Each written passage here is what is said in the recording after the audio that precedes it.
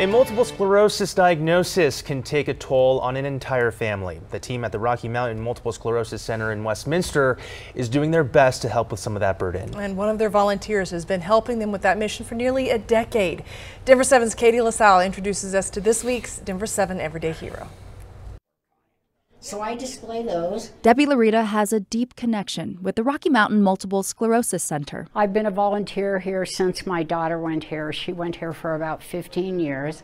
She's since passed away, and I started volunteering here about seven years ago. Debby works with the King Adult Day Enrichment Program, which was created back in 1991. We provide over 60 different activities that um, help enable clients to remain independent living in their community um, for five days a week. That is Michelle King with the MS Center. She says Debby's connection with the people at the center is unmatched. Debby is by far the most common steadfast volunteer that we have right now and you can see that the clients love her. That's because Debby is invested in the program. Her daughter loved the program and Debby wanted to find a way to keep giving back. I feel like I was guided here. I, I feel like God brought me here for a reason and this has absolutely filled the hole in my heart.